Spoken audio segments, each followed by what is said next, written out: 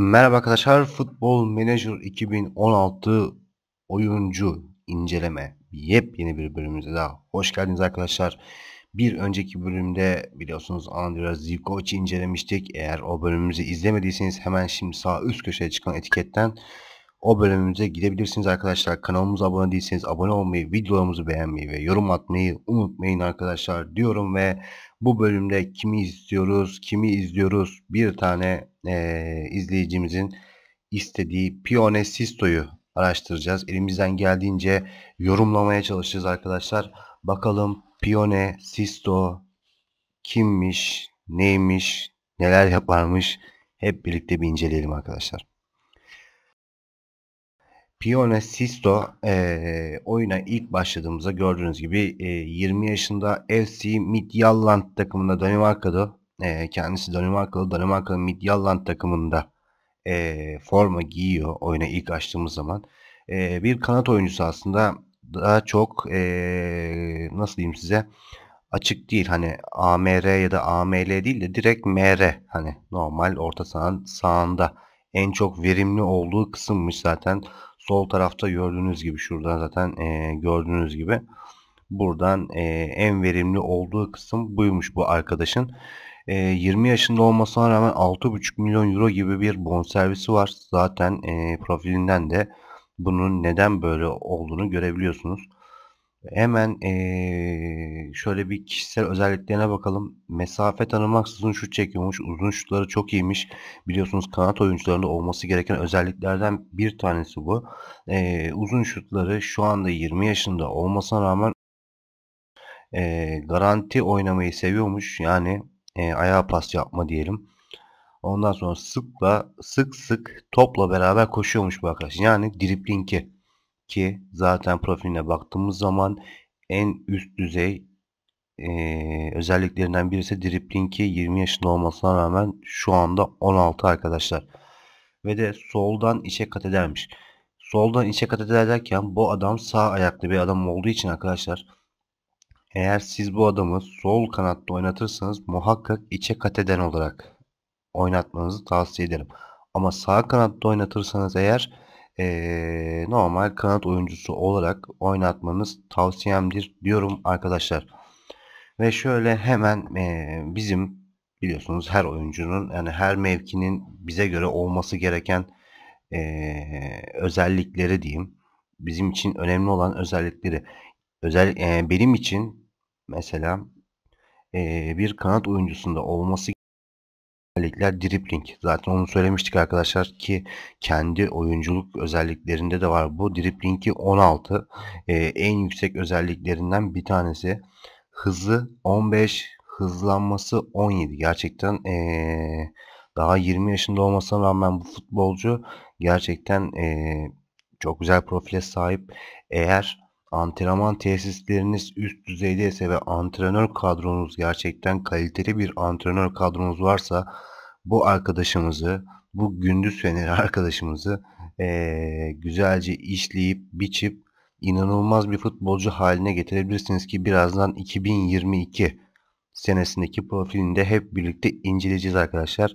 Baktığımız zaman ee, kanat oyuncusu olduğu için orta yapması 12. Bir önceki bölümde Zivkovic'e göre tabi biraz daha düşük bunun.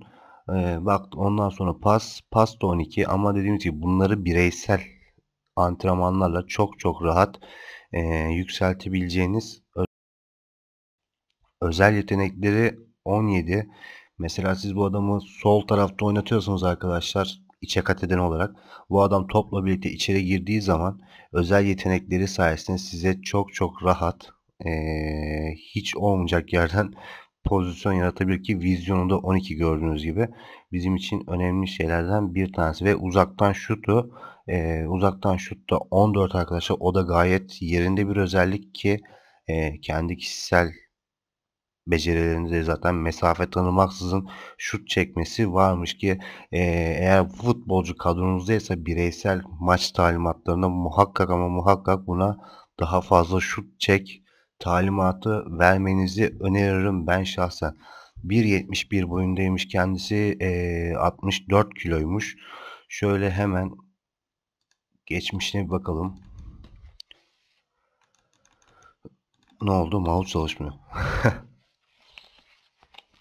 Şöyle baktığımız zaman arkadaşlar zaten direktman Midtjylland'dan yetişmiş bir arkadaş bu. 2010 senesinden beri Midtjylland'da oynuyormuş. Hemen sakatlıklarına bakma, bakalım. Şöyle bir dakika bir daha ben profiline geleyim arkadaşlar. E, profilinde baktığımız zaman vücut zindeliği ve e, dayanıklılığı da gördüğünüz gibi çok fazla güçlü değil. Kanat oyuncusu olduğu için çok da e, önemli değil aslında bu. Vücut zindeliği gördüğünüz gibi 16 çok fazla sakatlanmaya meyilli bir futbolcu değilmiş bu arkadaş. Ki e, baktığımız zaman 2015'te kadar şimdiye kadar bir kere kasıkta çekme problemi yaşamış. O da büyük ihtimalle aşırı yüklenmeden dolayı 2 aylık bir sakatlık dönemi geçirmiş kendisi. Ondan sonracığımıza baktığımız zaman zaten şu sekizgen kısmına e, zihinsel özellikleri çok fazla e, yüksek değil. O yüzden eğer bu futbolcuyu alıyorsanız arkadaş alacaksınız da eğer transferiniz e, etmeyi düşünüyorsunuz ve kanat oyuncusuna ihtiyacınız varsa bireysel antrenmanlarda muhakkak ama muhakkak e, zihinsel kısmını biraz daha geliştirmeniz gere, e, gerekebilir ben. Ondan sonra başka ne diyebiliriz bu arkadaşımız için? İtibarı ulusal düzeyde bir itibarı varmış arkadaşlar. İşte Danimarka kupalarını falan filan kazanmak istiyormuş. Bunlar şeymiş.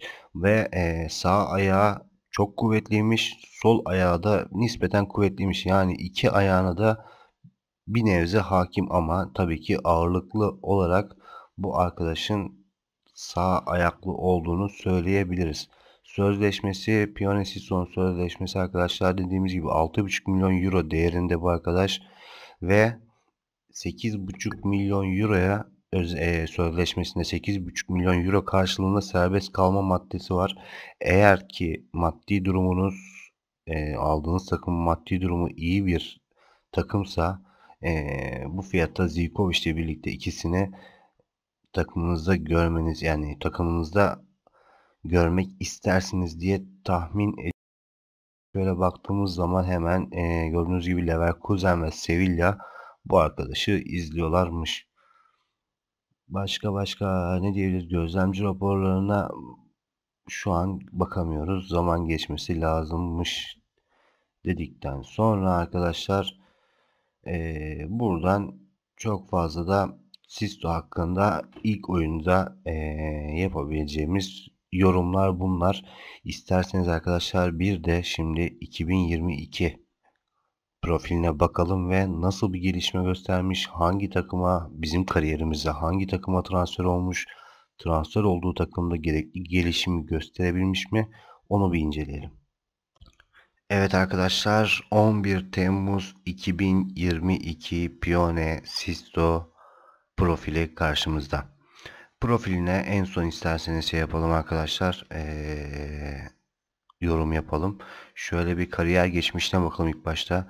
Gördüğünüz gibi hemen ilk sezon Valencia'ya transfer olmuş arkadaş 8 milyon euro karşılığında Valencia bu adamı kapmış ve neredeyse baya baya da oynamış ancak bu kariyerde sanki çok fazla isteneni verememiş gibi gözüküyor. 6 gol, 4 gol, 7 asist, 1 gol, 2 asist. Bunlar düşük değerler bence. Bence düşük değerler. Ee, bilmiyorum ama e, bu tabii Valencia'nın şeyi. Bu siz eğer kendiniz takımınızı aldığınızda bu oyuncuyu oynatacağınız pozisyon, vereceğiniz talimatlarla bu değerler çok çok daha yukarı çıkıp bu oyuncu size çok daha fazla katkı sağlayabilir. O yüzden e, bu değerleri çok fazla bence göz önünde bulundurmamanız gerekiyor diye düşünüyorum. Şöyle baktığımız zaman mesela 2019 yılında Valencia'nın sezon sonundaki en iyi 11'ine seçilmiş arkadaşlar. Ve 2022 yılında Danimarka'nın en iyi 11'ine seçilmiş haftanın takımı en iyi 11 aslında gol rekoru kırmış 22. saniyede. Başarılarına bakıyoruz arkadaşlar. E, 6250 peşin para devamı işte 8 milyon euroya tamamlayarak satın alınmış. Genelde evet arkadaşlar şey olmuş. Nasıl diyelim? haftanın takımı e, ve yılın 11'ine falan filan seçilmiş. Sakatlıklarına bakalım arkadaşlar. Gördüğünüz gibi demiştim e, çok fazla sakatlanmaya meyilli bir futbolcu değil. 2016'da bir kere sakatlanmış ve 2016'dan beri 2015'ten beri yani yaklaşık 7 senedir bu adam sakatlanmamış. Bu gerçekten e, önemli bir istatistik bence. Çünkü e, ilk 11'deki oyuncunuz ne kadar istikrarlı olsa, ne kadar verimli olsa menajerlerin yani sizin benim gibi futbol menajer tutkunlarının işi daha da kolaylaşıyor bence. Gördüğünüz gibi bu adamda sakatlık nedir bilmiyor diyebilirim size. Ondan sonra geçmişine e, transfer durumuna baktığımız zaman arkadaşlar şu anda herhangi bir e, izleyen takım yok. Değeri 35,5 milyon euroya kadar yükselmiş. 8 milyon euroya almıştı biliyorsunuz Valencia. 35,5'a kadar yükselmiş ve şu anda 6250 e, maaşı var. Gerçekten yüksekte bir maaşı var diyebiliriz. Şöyle sözleşme bilgisine baktığımız zaman 76 milyon euroluk bir serbest kalma maddesi var arkadaşlar. Ve gelelim profiline. Profilinde 27 27 yaşına gelmiş arkadaşlar. takıma 26 kez seçilmiş, 4 gol atmış. Şimdi bizim için önemli olan şeylerden bir tanesi neydi arkadaşlar? Dribbling. Dribbling'i 15. 2022 profilinden bahsediyorum. Ee, ve şurada dikkatinizi bilmiyorum çekti mi? Bakın bek olarak da oynayabiliyor. Sağ bek ve sol bek olarak da çok ihtiyaç olduğu sürece çok aşırı ihtiyaç olsa maç içinde mesela e, kırmızı kart görmüşsünüzdür falan filan. O tip pozisyonlarda da yani o tip zamanlarda da diyeyim hatta oynatabileceğiniz oyunculardan bir tanesi Sisto. E, kanat oyuncularına ne demiştik arkadaşlar? Dribbling 15 ki bence işte Valencia gibi orta düzeyde bir hatta ne bileyim o tabii Valencia gibi orta düzey yani ikinci kademe bir Real Madrid Barcelona'dan sonra girebilecek bir ikinci kademe olarak adlandırayım ben onu. Takım için yeterli bir e, özellik diyebilirim. Hızı 10 alması 16 gerçekten bunlar e, aşırı aşırı yeterli bence. Ondan sonra baktığımız zaman orta yapması. Orta yapma. Neredesin? Orta yapma. Orta yapma da 15. Gayet yeterli bence. Ee, pası 13. Pasını işte biraz daha pas olayı biraz daha gelişebilirmiş. Dediğim gibi e, 2010 yani oyuna ilk başlayan kariyerdeyken de anlatmıştım size. Bireysel antrenmanlarla bunları siz kendiniz bile e, kafanıza göre yükseltebilirsiniz. Yani geliştirebilirsiniz oyuncuyu öyle söyleyeyim. Özel yetenekleri 18 gerçekten e, tek başına maç kurtarabilecek kapasiteye gelmiş artık. Uzun şutları nerede o? Uzun şut 13. Zaten biliyorsunuz kendi özelliklerinde de vardı bu. E, hiç şeye gerek yok. Nasıl diyeyim? E, mesafe tanımaksızın şut çekiyor olayı vardı biliyorsunuz. Uzun şutu da 13. Bu da biraz daha yükseltilebilir bence ve vizyonda 13 özel yetenekleriyle birlikte uyumlu şekilde olması gereken özelliklerinden bir tanesi. Şöyle hemen özellikleri dediğimiz zaman e, hız, vizyon ve tekniği gördüğünüz gibi sekizgende gayet yükselmiş. E, biliyorsun e, zihinsel kısmı savunma sıfır zaten e, zihinsel kısmı sanki bir tık yükselmiş gibi diyebiliriz.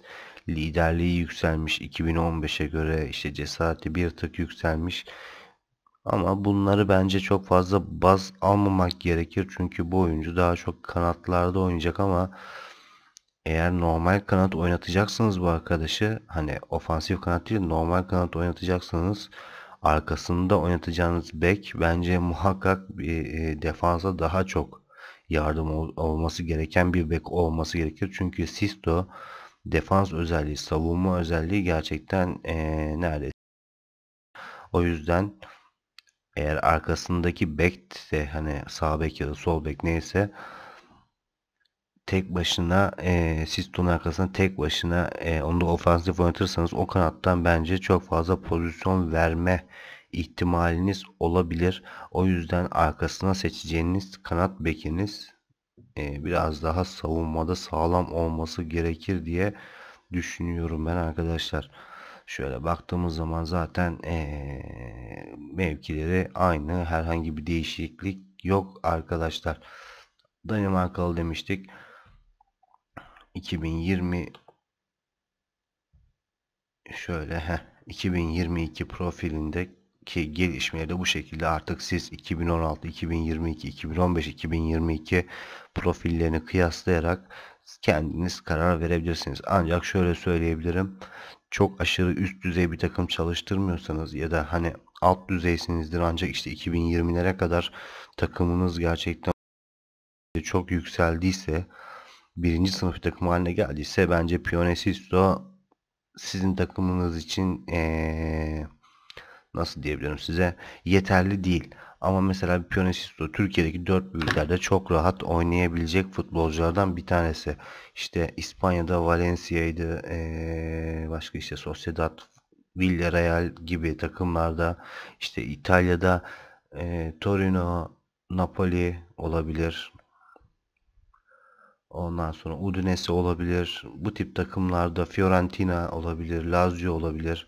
Bu tip takımlarda işte İngiltere'de ee, İngiltere'de mesela kimde oynayabilir? Southampton gibi hani bir Manchester'lar yani Liverpool'da belki Liverpool'da oynayabilir. Hani bir nevi biraz daha orta düzey takımlarda oynatabileceğiniz futbolculardan bir tanesi. Biz Zivkovic'le karşılaştırdığınız zaman Zivkovic tabii ki e, Sisto'dan birkaç gömlek daha üstün arkadaşlar. O zaman ne diyoruz? Piyano Sisto'ya da buradan hoşça kal diyoruz arkadaşlar. Ee, beni izlediğiniz için ve dinlediğiniz için teşekkür ederim. Kanalıma abone değilseniz sağ alt köşeden abone olmayı unutmayın arkadaşlar. Videolarımızı beğenmeyi ve yorum atmayı da unutmazsanız beni mutlu edersiniz. Kendinize iyi bakın. Allah'a emanet olun.